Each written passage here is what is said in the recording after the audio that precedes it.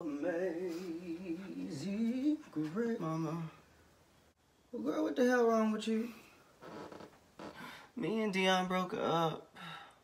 Again, y'all be back together Friday. No, mama, it's for real this time. He posted somebody else. He posted another girl. So what you crying for? If you seen that he happy, he living his best life, how come you can't do the same? How come you can't find nobody else?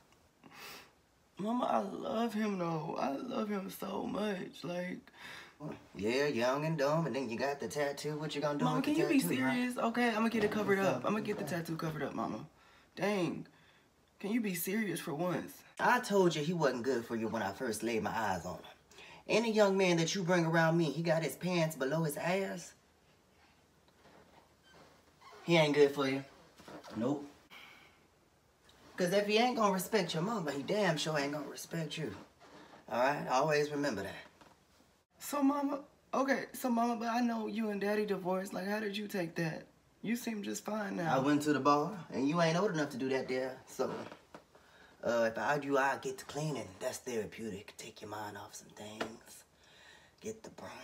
Do something. okay, mama. Okay.